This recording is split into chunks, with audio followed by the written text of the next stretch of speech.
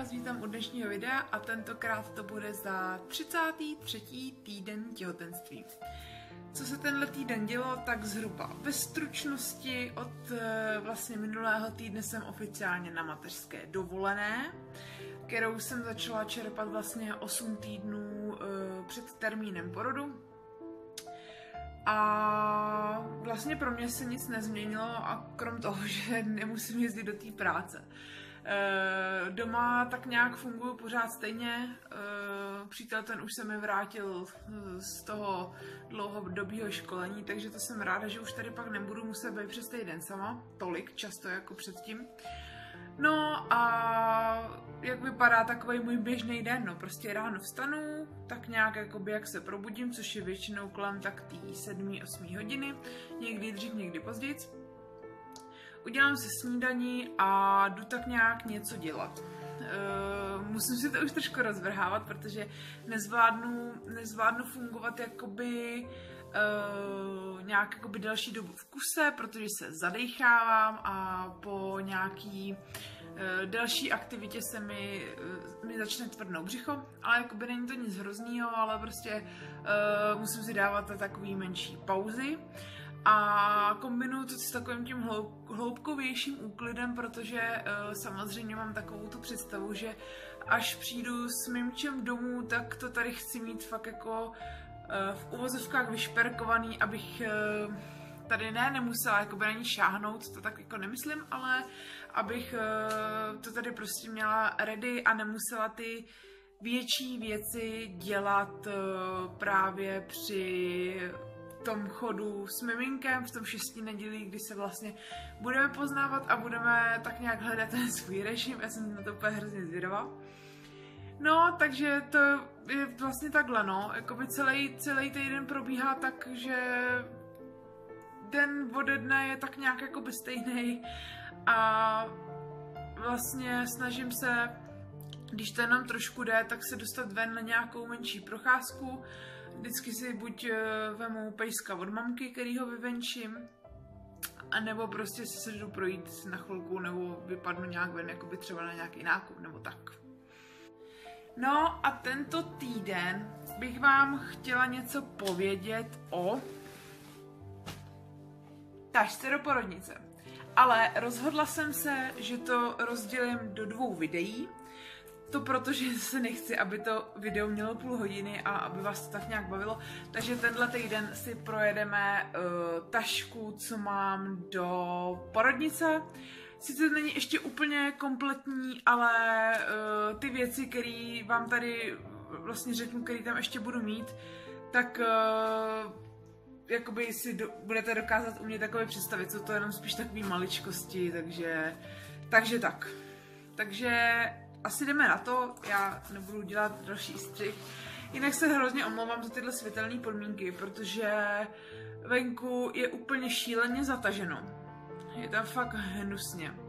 A já jsem fakt jakoby čekala, jestli ten den se to nějak umoudří a neumoudřilo, takže tady s tím takhle u okna, abyste měli trošku uh, lepší lepší to světlo. První věc, já to budu brát tak, jak mi to bude chodit pod ruku, nebudu to nějak jakoby seřezovat. Tak tady mám připravený, eh, je to tričko pro přítele, ale mám tady zatím jenom to tričko, protože ještě on si chce koupit nějaký jakože slušnější tepláky a nemá ještě pantofle, takže mu tam přibalím tepláky a pantofle, takže to je věc pro přítele.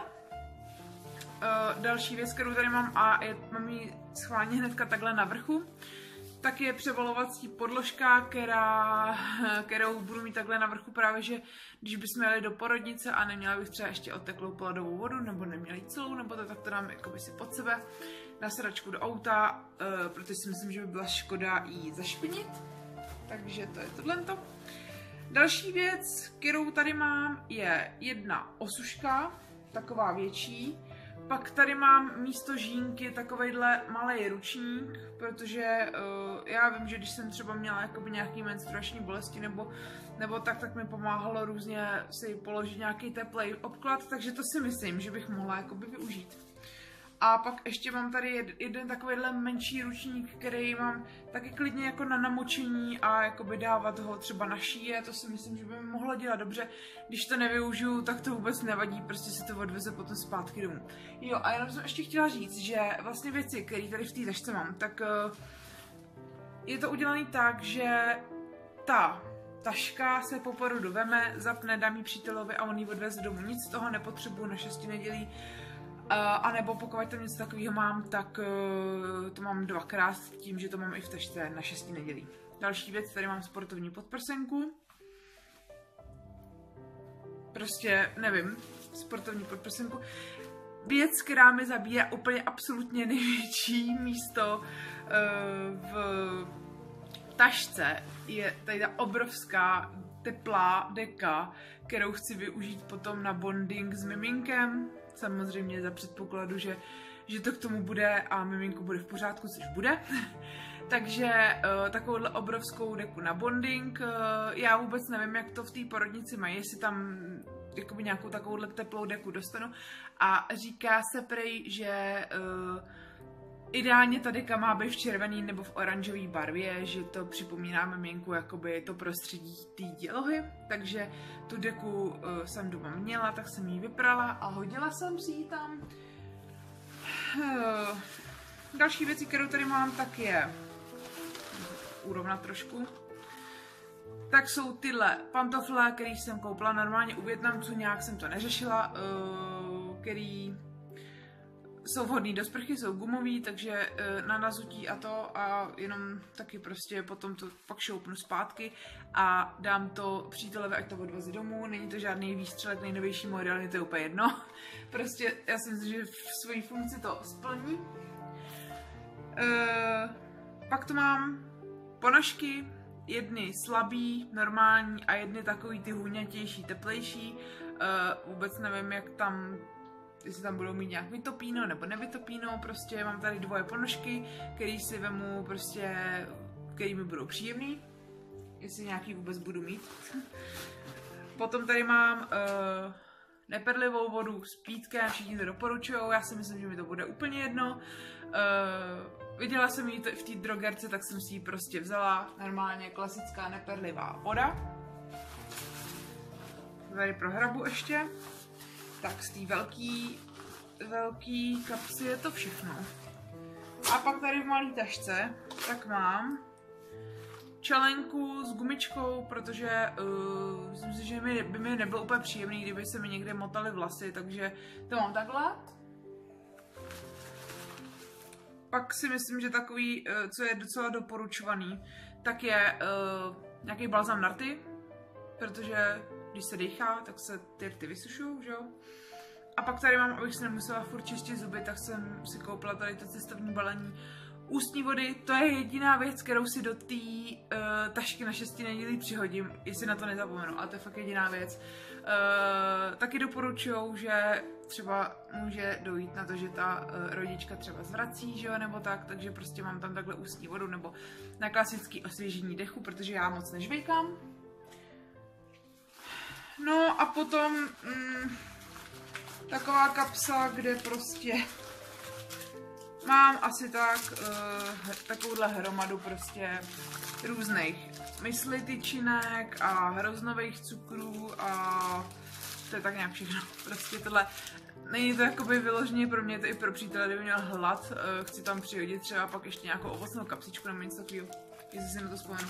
A i kdyby ne, tak uh, si myslím, že vím, že od té porodnice je kousek nějaký peny nebo něco takového, takže když tak přítel by si někam sjel. No a to je vlastně fyzicky z těch věcí, co tady mám, tak je to všechno.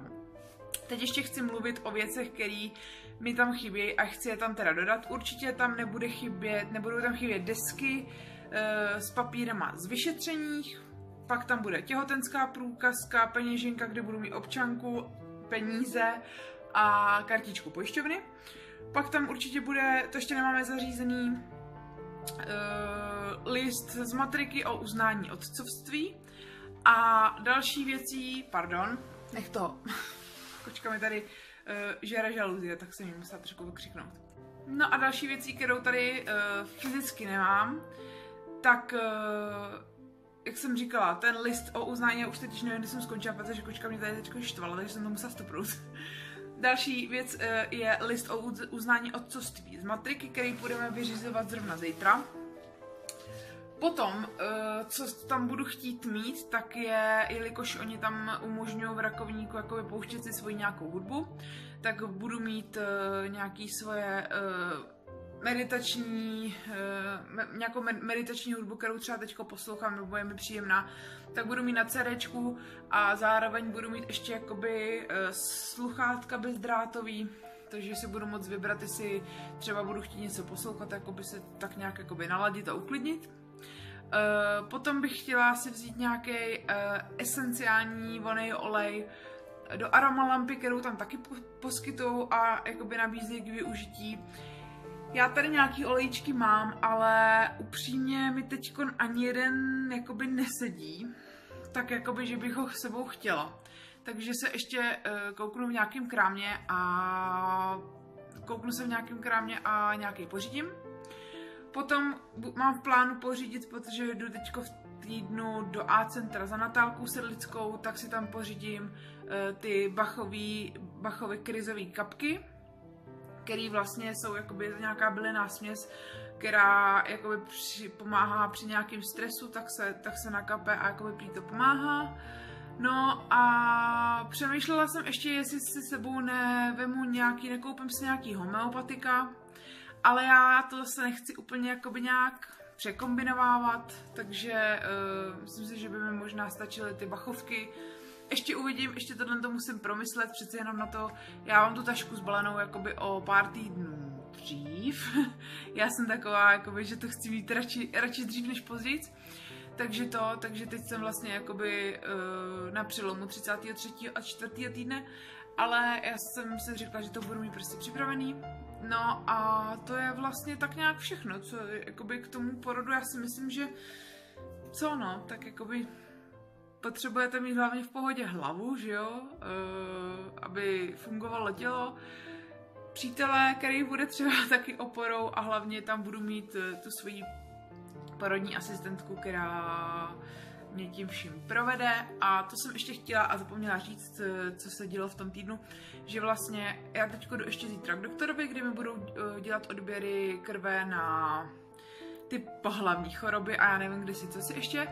A potom už nějak jakoby plynule navážu na spolupráci, eh, na výhradní spolupráci s porodní asistentkou, s kterou, ke který vlastně budu dojíždět, myslím, že co týden nebo 14 dní ze začátku.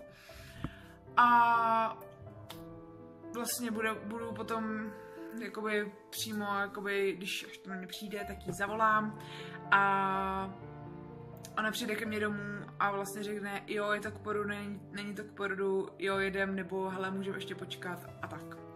Takže to by bylo k tašce na porodní sál a ty tašky na šesti nedělí, které tam mám připravený, tak uvidíte v dalším videu. Jinak, když už tady takhle sedím a viděla jsem to, protože to mám položený tady v krabičce na okně, tak bych vám chtěla vy... ukázat, eh, co mi přišlo z jednočínského e-shopu za vychytávky ke kočáru. Tohle teda je z Pepka, ale je to normálně klasická termoska, protože ještě čekám, že mi má přijít eh, takový držák na madlo, jakoby na pití, takže eh, na nějakou třeba hodinovou procházku vzít si sebou čajík nebo nějaký karo, tak si myslím, že úplně ideální. Eh, potom jsem sehnala asi, tady mi to přijde hrozně předražený, vůbec jako nechápu proč, tak jsem sehnala tady ty dva klipy na, uh, jakoby na kočár, na předělaný plíny třeba nebo něco takového. A stálo to asi, jeden mě vyšel asi na necelý dolar a tady to stojí hrozný peníze. Potom tady mám, mi taky přišly uh, dvě takhle karabinky, které se dají přidělat vlastně jakoby na madlo a dá se na to přichytit jakákoliv taška, což mi přišlo taky super praktický. Pak co tady po, po, chci namontovat na kočár, taky určitě reflexní páska a chtěla bych ještě druhou. No a poslední věcí, kterou, která mi přišla, tak mám vlastně takhle uh, obal na kola od kočáru, když ho budeme skladovat doma. Úplně nevím, jestli to budu po každý, když přijdu s kočárem nasazovat, ale prostě to mám, tak uvidím, jestli to budu využívat, no. No a samozřejmě nesmí chybět klasický okýnko, kdy vám řeknu, co se děje s miminkem, takže mám tady opět svého pomocníka a budu vám přečítat, eh, co, jak teda na tom jsme vlastně. Eh, mezi 33. a 36. týdnem těhotenství orgány dítěte dále dozrávají a jejich funkce je již eh, z větší části připravena pro samostatný život. Stoupá množství podkožního tuku, což mění barvu kůže na růžovou. Rychlé zvětšování mozku rozšíří hlavičku během tohoto týdne o dalších 9 mm. Dítě už nemá takový prostor pro svou akrobaci, proto jeho pohyby cítíte spíše jako přetáčení nežli kopání. E, možná vysledujete, že se miminko hýbe v závislosti na vaší aktivitě, jídle, relaxaci nebo konkrétních zvucích. E, nyní měří asi 43 cm a váží téměř 2 kg.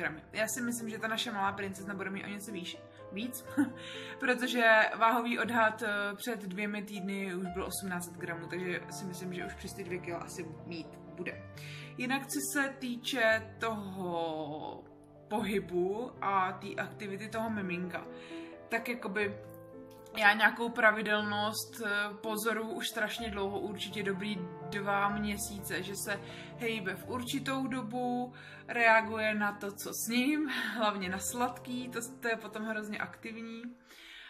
A teď, to už jsem taky možná v minulém videu říkala, tak uh, uh, pravidelně vždycky večer škytá a pořád to cítím dole ze styckou kostí, což je dobrý, dobrá známka toho, že je hlavičkou dolů, což jsem velice ráda a doufám, že to takhle zůstane. No a jinak ještě k tomu, jak se cítím já, tak uh, tkaničky už mi zavazuje přítel, už to nezvládám. A jediný, co tak jakoby je častější to tvrdnutí bříška. Včera jsem měla zase poslíčky, ale myslím si, že to není nic nenormálního, že to k tomu prostě patří a a je to prostě známka toho, že už se to blíží. Jinak uh, vám ukážu bříško. Mám na to teda ideálně černý, černý tričko, v kterém to tak nevynikne. Uh, bříško vypadá takhle. Vážila jsem se dneska ráno a vychází mi to nějakých uh, plus 7 kg od začátku těhotenství, což mi přijde takový adekvátní a doufám, že by to mohlo třeba do těch 10 kg se vejít, no, tak uvidíme. E, to by bylo pro tenhle týden všechno. Příští týden se teda, jak jsem avizovala, tak se můžete těšit e, na tašku na šesti nedělí pro mě a pro miminko. A pokud mě budete chtít sledovat i nadále, tak uh, jsem založila YouTube kanál, kde můžete moje videa, videa i nadále sledovat. Tady vám ohodím uh, moje uživatelské jméno a já se na vás budu těšit u dalšího videa. Mějte krásně a užívejte podzimu. Ahoj!